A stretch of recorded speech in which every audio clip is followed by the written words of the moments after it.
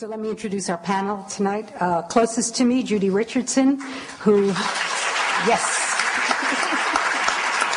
Um, she was series senior research consultant and content advisor on Eyes, and she is now a senior producer at Northern Lights Production.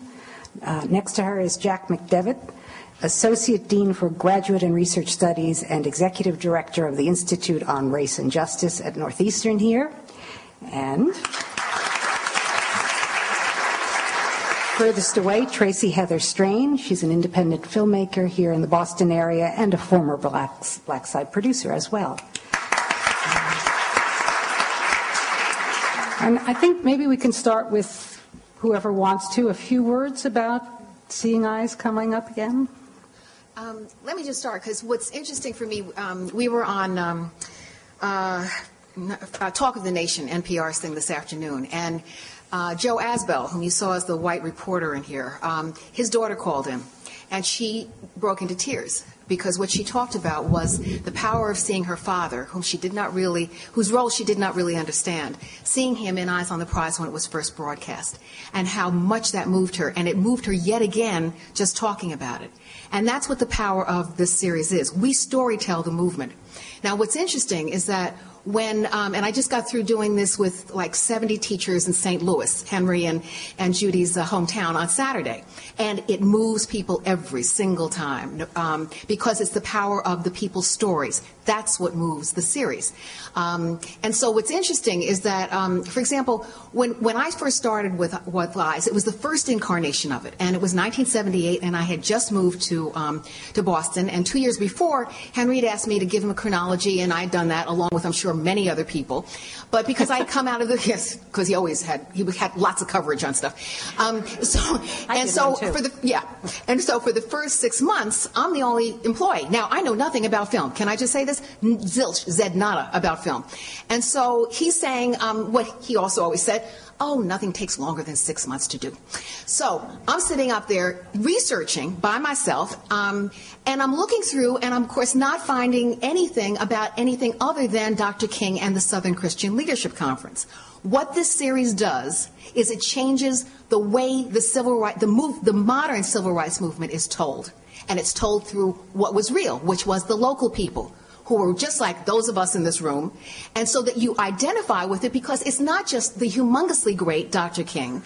It is people who look and talk just like you who are making these changes. Now, I will also say one other thing because I only got four minutes in the startup. When we first started, um, it was going to be Capital Cities Communications, which had not yet bought ABC TV network and sold it to Disney.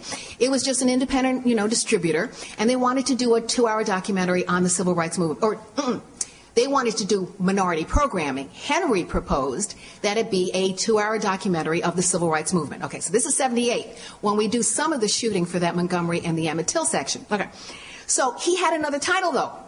His title was America, we loved you madly.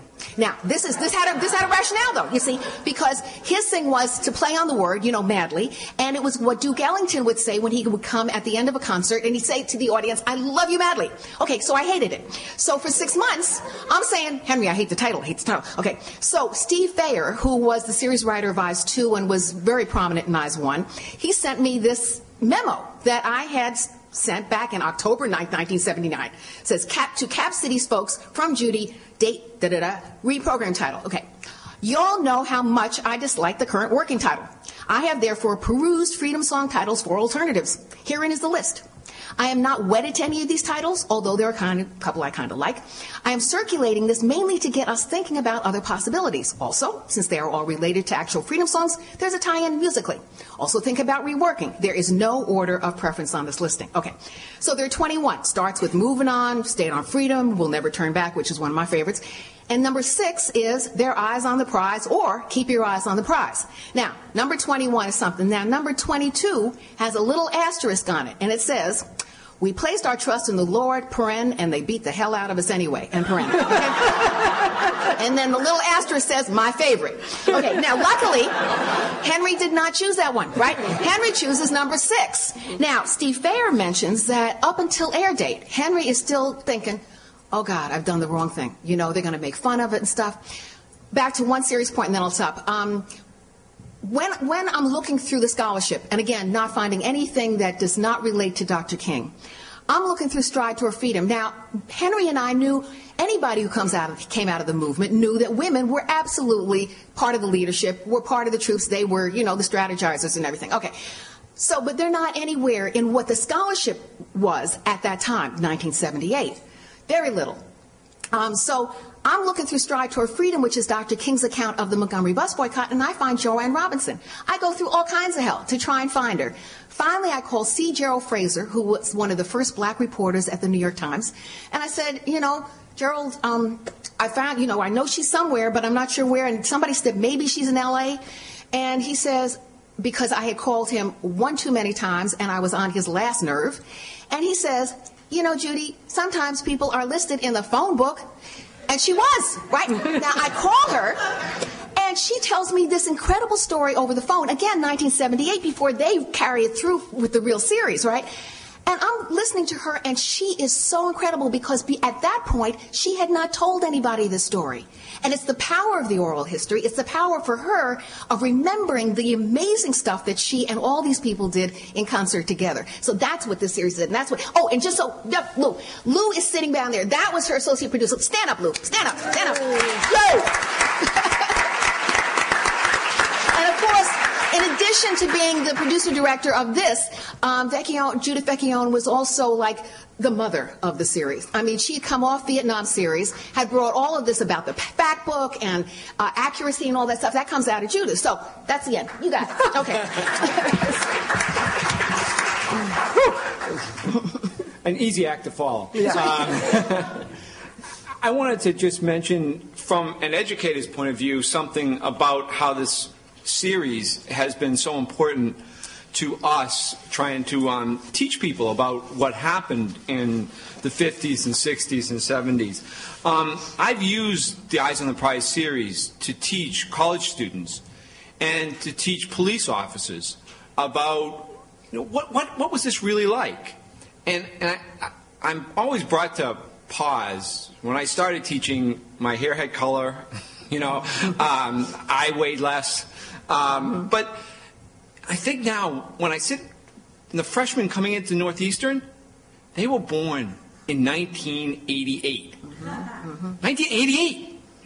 Okay? Um, the police officers who were going to the police academy were born mostly in 1985 and 1986.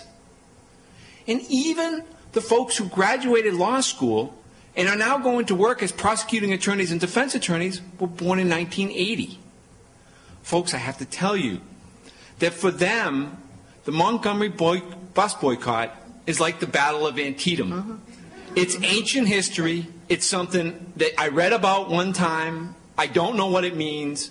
I studied for a test, and I forgot it.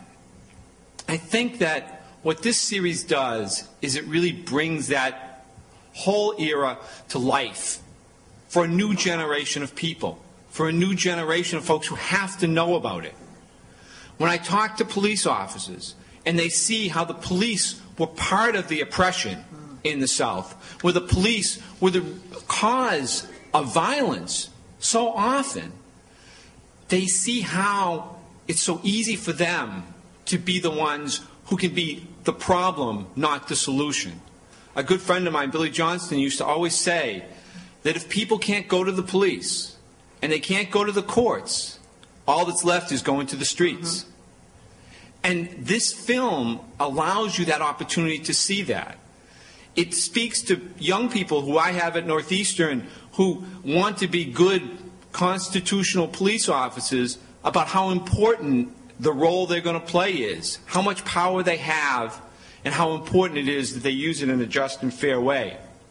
Another thing about it is when you're talking to young people and you say to them, there was a bus boycott for 11 months so that people could sit on a bus where they would like to. I mean, it's inconceivable to most kids today. It's inconceivable that somebody could hold together that long, that a, a group could have that much solidarity, and you could bring that much together. I think it, it, it speaks on so many different levels. And another point that comes through this um, process, and the you saw it a little bit. It's in some of the other segments. It's even more. as, as a criminologist and sociologist, one of the things we understand is the way we keep straighter in our society is by demonizing those people that we don't want to be part, the people we fear, the people we want to keep outside. And there's lots of ways we demonize groups. And you saw it a little bit with the Klan there, and the crazy rallies, and how they talked about people being mongrels, less than human, dehumanizing everybody as part of the process of demonizing them. And I see these things here, and I fear that a lot of the debate we're now starting to see around immigration issues has some of similar tones of what we've seen in here. So this is not just a historical series. It's a series that has much resonance today in society and the problems we're trying to deal with. So thank you.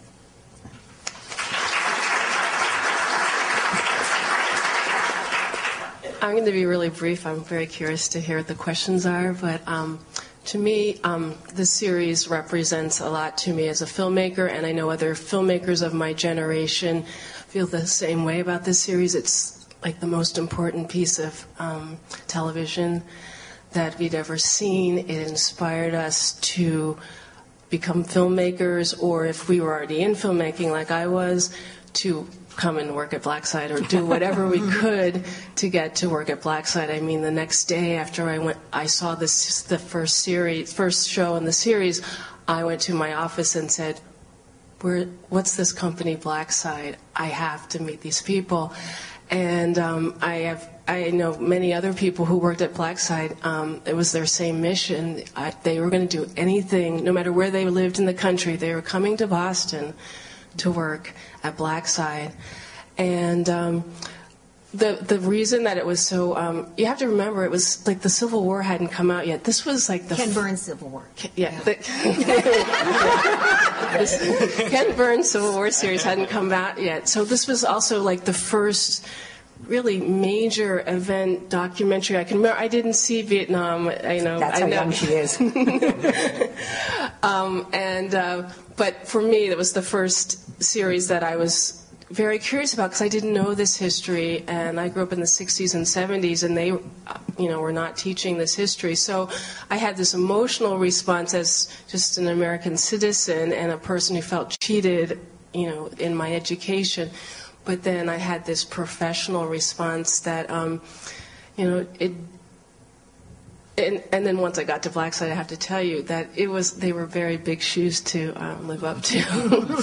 so um, we constantly on other series. I came there on the next series, the Great Depression series. We were always hearing about the eyes rules, and we always had to follow the eyes rules. And uh, it wasn't until later on, like "I'll Make Me a World," that we actually could break some of the rules. So. I, um, I feel really blessed um, to have been able to work at Blackside and to have these big shoes to follow in. Um, I can ask you a question, or I can throw it out open to you. You. Is there someone who has something they'd like to ask the panel or bring up for discussion? I see a hand right here. Yes, I- I'd like to know if uh, Isaac Prize was the first documentary uh, on television that told the story from the black point of view. That's an interesting question. Yeah, the question was whether Eyes on the Prize was the first documentary that told the story, told its story from the black point of view. I would say it was the first historical series that did that. I don't know if it was the first dramatic program or individual documentary. I wouldn't think so. Right? When was that? What- Yeah, and, yeah. and that's the one that I, that was the only one that was out there. And unfortunately, it was all about Dr. King, so you didn't have, that's the one that didn't have anything about local movements, but you're right. And it also, I don't know it where also had archival mistakes in it. Yeah. Mm. But you're right, there was that, yeah. There may have been programming out of NET, New York. There was low. I, I think there were some programs, but I, what Eyes was uh, was really the the second long, long form program that we put out on the air that public television did and that Americans had seen. There had been one in Britain called uh, on World War II that they did, um, and we then did Vietnam, and from that experience of telling a coherent history over many, many hours and telling it with the kind of rules that, that Tracy's referring to, which is it has to it has to be journalistically completely sound. You cannot use a shot in a way that it, that is misleading, that is not truthful. If it wasn't those feet that you saw marching, this is Lou, Lou and I went crazy over this. Those feet you saw marching were marching in Montgomery. We had lovely shots of feet marching in other cities. You would never have known. We didn't use them. Um, we used music appropriately. The rules were different between Vietnam and Eyes, but these sorts of um, uh, uh, limits that we set to ourselves, and we set them not to make life difficult for ourselves, but because we knew that audiences were becoming increasingly sophisticated and really needed to feel supported. They're telling me the truth, I can trust them. I was struck again watching this, I, I think of this periodically, how blunt we were about calling things what they were. Mm-hmm. Um, I'm not sure scripts are as blunt these days. Uh, people are a little more careful. But we felt we could say it. It was, you know, segregation was what it was. Uh, the, the, rules of, you know, stepping aside, whatever. So I don't. Judy. Yeah, just two things. One is. Um, I, I, was on this, this panel at the Academy Award thing, and it was because they were doing a panel on documentary filmmaking in LA, and it was because two filmmakers had gotten the Academy Award for documentary who had used, who had um, made it seem that something was archived, that a lot of the footage was archival. And it wasn't, and it had been recreated. And so on one of the, and it was on the um, Birmingham Children, the Children's March.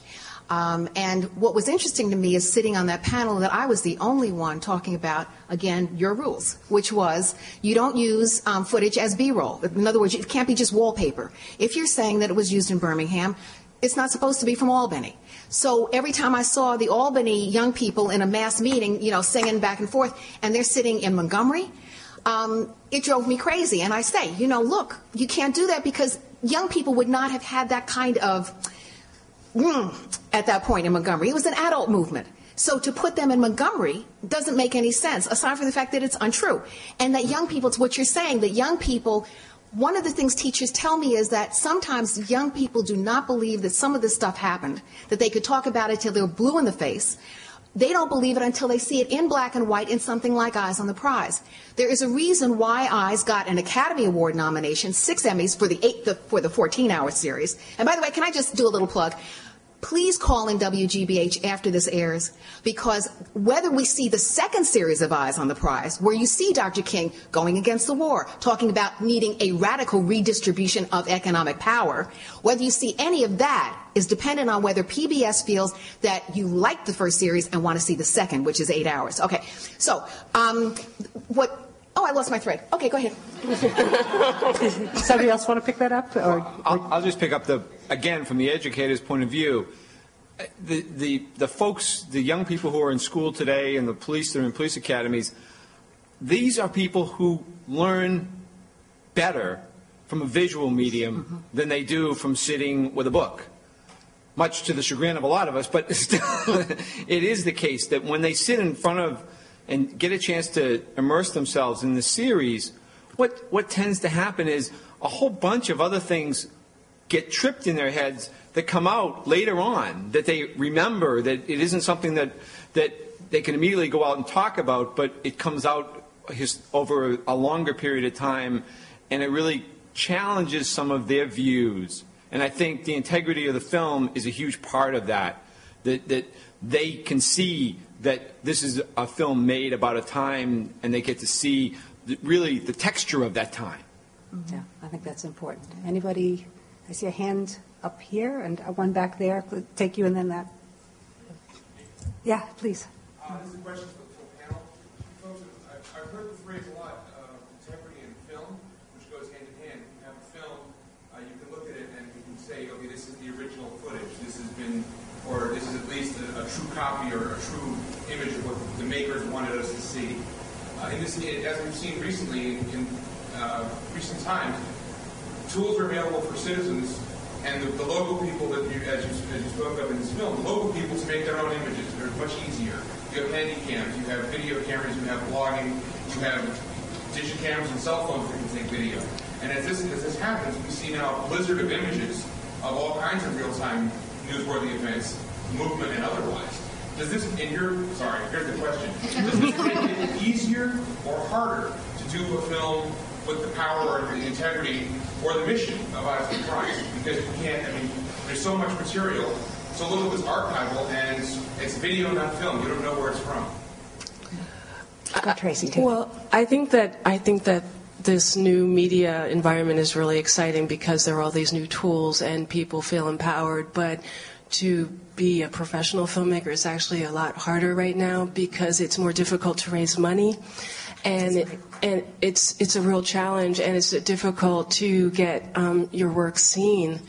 Um, people, if you go to a meeting and you say your project costs X amount of money to make because you have these journalistic standards. It doesn't, you, it takes time to read all the books about the civil rights movement or dig or try to find Joanne Robinson. It, you know, it doesn't happen in, in two weeks. Uh, well, if, it would have if you opened the phone. But, but sometimes it takes a long time to find people, to find the right person. I mean, they were literally looking for the people that were in some of those shots. So you have, that takes some time. Today, people don't want to spend that time or spend the money to allow you that time to do that kind of research. So it's very challenging to do that kind, this kind of work now. Could I just say, I also think that people, everybody and his mother thinks that they can make a film, which is a problem. So that when you bring a budget that is solid, um, they don't understand it because I mean, and I would go back even to Eyes when I remember Mrs. Devine, who was this incredible lady, who she was part of the triumvirate that was part of the Mississippi Freedom Democratic Party. It was she, um, Mrs. Gray from Hattiesburg, and, and Mrs. Fannie Lou Hamer um, from Sunflower County, and so they were the the, the bulwark of that um, uh, that the party that um, challenges the all-white Democratic delegation at Atlantic City in 1968, which is chronicled in the fifth hour of the first series. So um, when I called her to get to see if she would be able to be willing to be interviewed, um, she was very nice, but she said, "No, we're going to make our own film." Now the problem was they didn't make their own film. Um, and she's not really in the piece except in archival footage. She was so amazing. She would have been such an amazing interview. But everybody thinks they're going to do their own film and don't understand, I think, the, the standards that are required of broadcast and all of that. So, yeah. Yeah, I, I you know, I, I'm a tremendous, I'm, I'm not going to spend a lot of time because I'd like to get more questions. I'm, I'm a tremendous fan of citizen journalism, but I think it's not the same thing as professional journalism. It's got enormous value. We are enriched by it, and we need to find ways to connect with the with the citizen journalists, which is what your you know grassroots journalism, whatever these things are called. But it, it, we're in a transition now. It's not real clear whether it's going to end up undercutting or supporting what we all care about. I had a hand over here and then another one over here. Can I? Can I? You, yeah. Okay, I have two questions about media because it, it's very clear from the film how powerful the media is in changing our impressions and even how powerful it is in the free broadcast. With the Emmett Till case, I was curious about two things.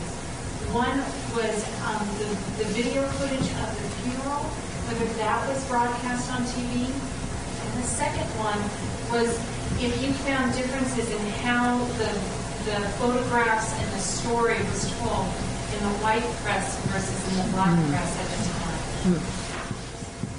time. Um, I don't think that film. I look at Lori. I don't, Lori. I don't think that film was shown at all. I mean, it might have been shown locally, um, but I don't. It certainly didn't have the kind of national distribution. You're talking about a time before national news. Remember, national news starts in '63.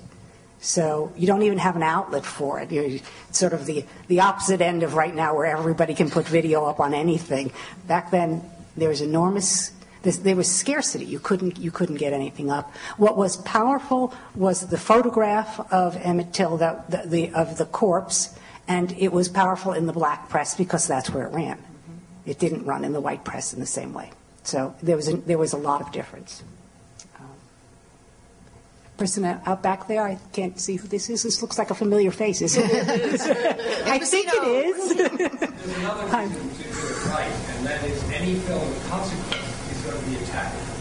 And the one thing you need to know is if you did it right. And that's your own defense. Yes, well, that's, a- that's, a- did, did everyone hear this? Um, The assumption is that if you're doing any film of consequence, you're going to be attacked, and your only defense is to have done it right. Um, Sometimes it's nice if you get attacked from both sides, then you really feel good about it. And you should know about that with Vietnam. I- yes. I do. And my China films, oh, my lord. Could, could I just add one thing, which is, it also, do not forget that this is a black man running a black film company, Blackside. That's what it's called. Sometimes we got envelopes saying backside, but it was it was Blackside, and he had never done anything like this before. And so, in addition to all of the rules, you know, and the journalistic grounding that Judith is bringing in, it is also Henry coming out of communications, Henry knowing as a, a black producer going on PBS telling a civil rights movement story, you got to get it right. Yeah. Um, It's it's kind of surprising to me to hear you talking about people not having seen this, because in my family, it, and I've seen this so many times, these old VHS tapes. Um, When I first saw it, I was 12 or 13, and in watching the episode of desegregation is when I discovered that my father and his siblings desegregated their local school, which you just, like, I just kind of casually mentioned it, like, oh yes, I did that too. Whereabouts? Um, He was in Indianapolis. Wow. And more recently, I discovered that the deed of my grandparents' house says do not sell to Negroes, but they got it sort of secretly. And I was wondering if, as a teaching tool, if you have other ways of sort of encouraging kids to talk to people in their family about it. Mm-hmm. Because part of it, right, what's so important is, is that it's oral history, and it's like, you know, your next door neighbor telling you all these amazing, insane mm-hmm. stories, like how did this possibly happen? I was wondering if there's a way to encourage people to actually talk to their family members, that people coming to local schools or anything like that. Uh, I think there- that that that is I part of the, yeah. And I actually I do it when I show the clip of Freddie Leonard. Freddie Leonard is in the Freedom Ride section, and he's talking about um, holding on to his mattress. And um, when I mentioned how Orlando Bagwell got that interview, and the fact that when we showed it, what Freddie said to me was that he had not even told his children. And at the time that it aired, it was um, he was unemployed. He was an unemployed um, uh, craftsperson, and how his children looked at him differently. Um, you know that he. He both Freddie Leonard and his wife had been part of the Freedom Rides and had never mentioned that to their children. Same thing, right? Now, when I talk to teachers about it, I say, you know, this is the importance of oral history. And in fact, one of the times that, um, well, I won't go through that. Yes, it is important, and to talk through. There are a lot of places where you can do that, where they talk to folks about what were their parents or any people in the neighborhood doing during that time, what were they thinking, and sometimes they find surprising stuff that maybe they didn't want to know, but it's, it's interesting.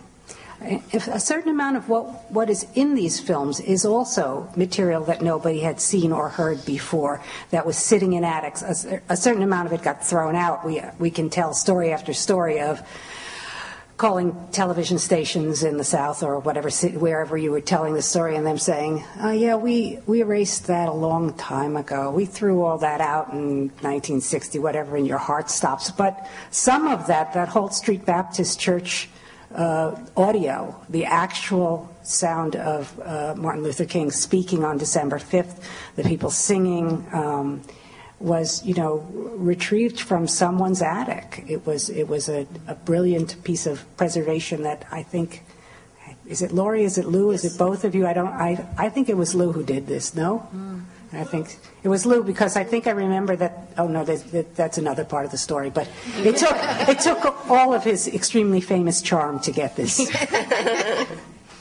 Please. There's a piece of this story that I bubbled through before, but I'm not going to do it again. There's a team of people in this room that helped get Eyes rebroadcast. They have worked tirelessly for two, three years, and I think they need to be acknowledged. Absolutely, Really- absolutely. Allison, Cindy, Rena, could you stand? Sandy, who else is here? Andy's not going to stand. She told me to get over it. Okay. Um, Cindy Kimberly, a lot of people know.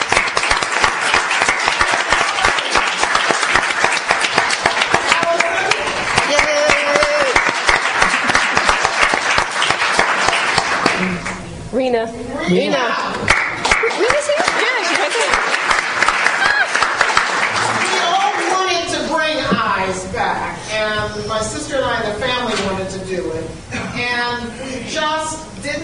Money and couldn't do it. I'm, I'm so enriched to hear you reacting to it. Sandy came along, and Sandy's relentless. And this group of people tirelessly worked to get the series to come back. So I just Good for you. into the Good for blame, you. But I think people need to acknowledge what they did because it's going to be on the air again because of all the hours that they spent working and fighting and whatever get it back. So I feel privileged to work with the rebroadcast team. Thank you. Thank you. Please. Can I just ask uh, the panel, what, that was 50 years ago, what has really changed in America when we start with the elections of the presidency in 2000 and what happened in Florida and what happened And Ohio. in Ohio in 2004 and Katrina and I could go on in terms of the number of black men who are incarcerated in this country, the fact that 50% of the, of the children in the Boston public schools drop out. What has really changed in America in, in those 50 years? Well, I will say one thing. I mean, if, if you assume that one of the things we were trying to do, one of the things in the movement, was to get black people registered to vote without getting them killed. Okay. If you assume that at least was one of the goals, um, then at least we've done now. Now, what the problem we had is that we stopped being vigilant. So that you could have, for example, Juan Williams, who wrote with a lot of help from the production team um, that uh, first companion volume at the very end of Eyes on the Prize. Um, and, you know, he now has an op ed in the New York Times talking about how the Republicans really, you know, are just not getting their message across to African Americans.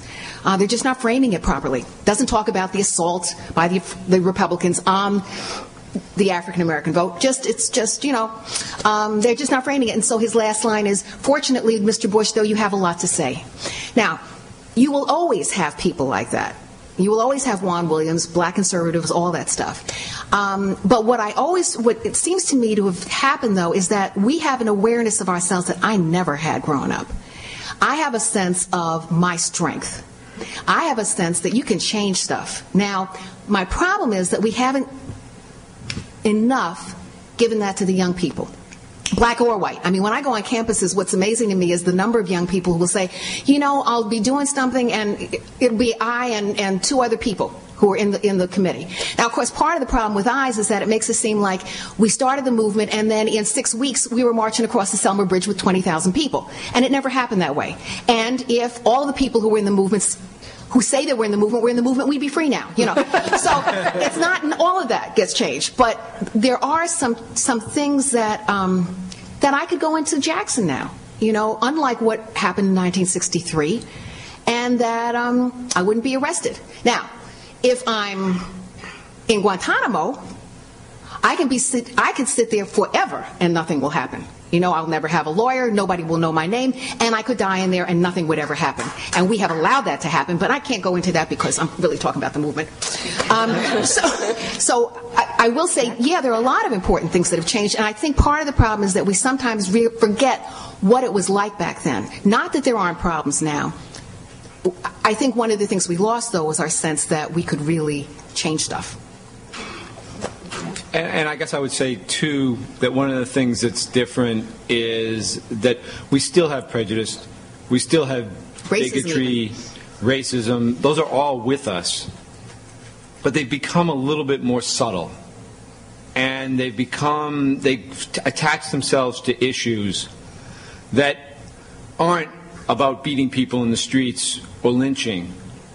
But the research that we've been doing at the Institute of Race and Justice, my colleague Amy Farrell, things like hate crime. Hate crimes haven't gone away. People are still being beaten because they're black or because they moved into a white neighborhood. Racial profiling. Just because the media doesn't talk about it anymore doesn't mean car stops aren't being made where people's lives are being disrupted because of who they, what they look like. And uh, most recently, the whole issue around human trafficking and you know, trading people into slavery on our streets in this city, in Boston. Is stuff, absolutely, is stuff that is happening and people have to have it brought to their attention because a lot of people who want to believe we've already achieved success and that we, we can move on to other problems now. And we can. Yeah, I would add one more piece, which is that we have a vocabulary that we could, we, we can use to push these issues forward.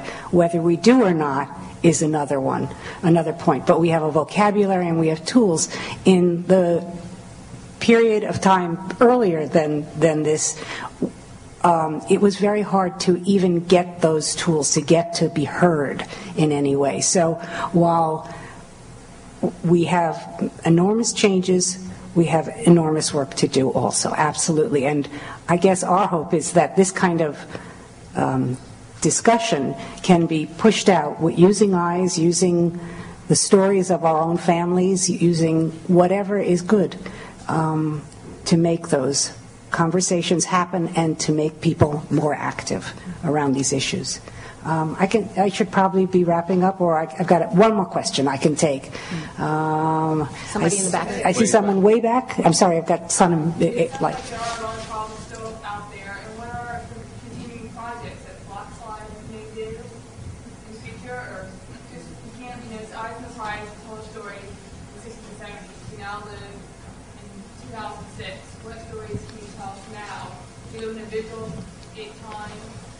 Just Stuff like this, not just my age group as well, we like to see film, we get transformed by the visual media, so what's in the future for this production company, what do you have to be on the lookout for?